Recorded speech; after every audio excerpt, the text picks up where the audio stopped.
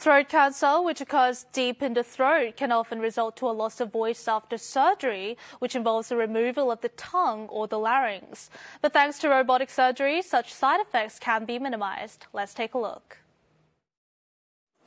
This man in his 70s was diagnosed with pharyngeal cancer when it was already at stage 4.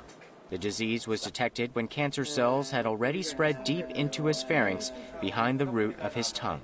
The patient might have lost his tongue if he had been treated with conventional surgery. Thanks to robotic surgery, the doctors were able to preserve his tongue intact.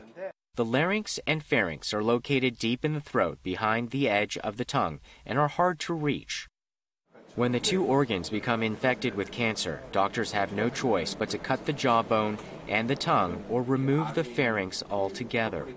Oftentimes, patients have a hard time swallowing food or speaking after the surgery. However, thanks to robotic surgery, such side effects can be minimized dramatically. Performed by inserting a thin robotic arm into a patient's throat, this type of surgery allows facial and neck damage to be kept to a minimum. Because surgical robots can magnify the area under operation by a factor of 10, they can accurately remove cancerous cells while keeping normal tissue intact. More than 80% of throat cancer patients who have undergone robotic surgery had no problems with swallowing food or vocalization.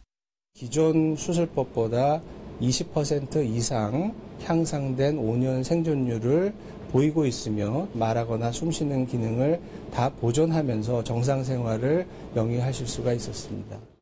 Recently, a thin cylindrical device consisting of multiple robotic arms has been developed to operate on patients with higher precision.